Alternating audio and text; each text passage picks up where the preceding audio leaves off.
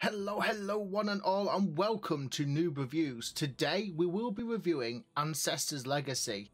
I don't want to keep you too long, so let's jump straight into this.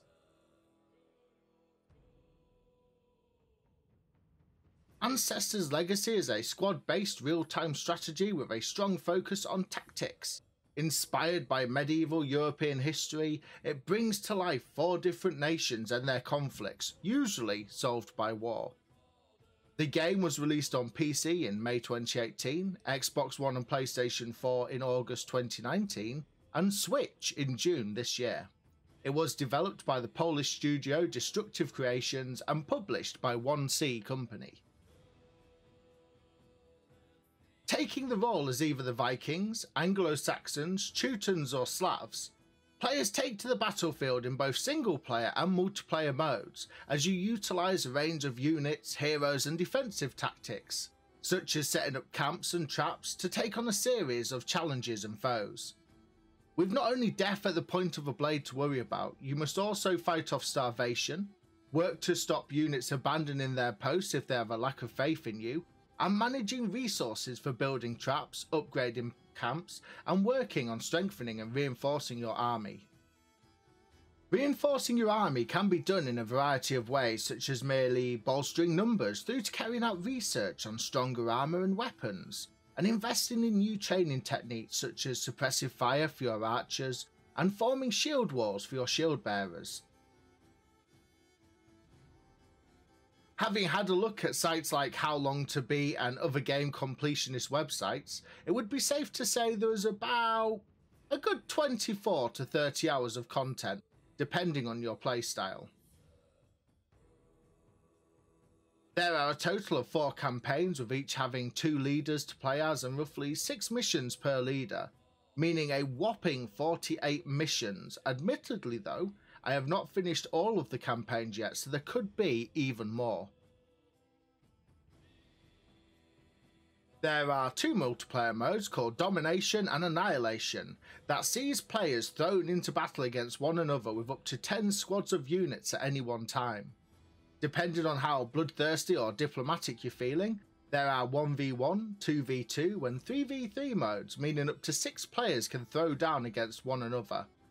To make sure there is enough space to accommodate the anarchy, there are 15 maps of various sizes on which to deploy and fight your troops.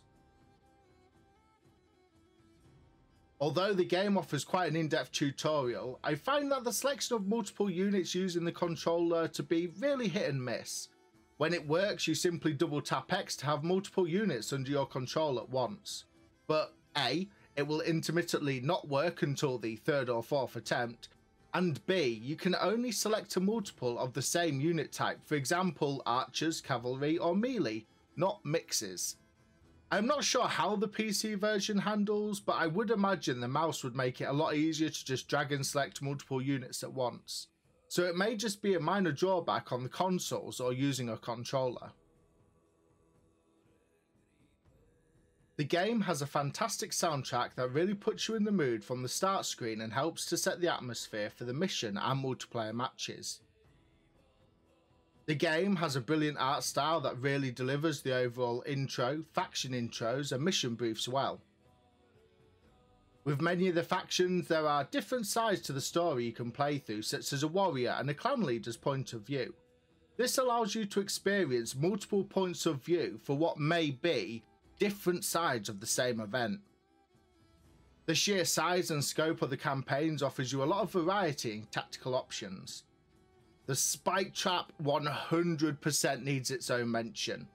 100% need to mention the spike trap purely because if you get a few of these bad boys set up, you can literally create a meat grinder to lure your enemies into. And I'm not gonna lie, it's beautiful. There are only a handful of units to use across the various factions compared to many other historical and non-historical real-time strategy games. Personally, I thought there was enough variety to keep the units interesting but not everyone may feel the same. At times it can be fiddly, especially on the console version, to select and deploy more than one squad of units at a time. In the heat of battle, this can be the difference between the win or loss of a skirmish. Even when completing specific goals like rushing and disabling a catapult crew for example, be aware that certain weapons like catapults will keep attacking your ships and troops until you have made it right to the end of a gauntlet and completed an overall or final objective. Personally, I thought this was a glitch at first, but it has been confirmed to happen regularly across all platforms. I found this more frustrating than anything, and it did not always occur after a reload. Bar the usual manual on the initial settings and options menu, there is no in-game manual for you to refer to, so make sure to play through the tutorial and keep referring back to said manual if you need to. There are a few historical inaccuracies in the game where, if you're a huge history buff, you may find them niggling away at the back of your mind. Although this doesn't really subtract from the overall experience, it has led to many a poor review, and depending on your love of accuracy, may grind your gears too. However, one thing I would like to request is just remember and look back at all the historically accurate video games and just how many of them have actually been 100% accurate. With an average asking price of £30, which is around $40, I think the game is a little overpriced for what it offers, and personally, I think it would be better priced around the £15 to £20 mark. However, if you are a fan of real-time strategy games and the price is not an issue, I would highly recommend you give Ancestors Legacy a playthrough. At the end of the day, all I can really do is provide my personal point of view and encourage you to try the game for yourself, to form your own opinions. Some may love it whilst others might not. For now though, whatever you decide to play, I wish you happy gaming and have a fantastic day.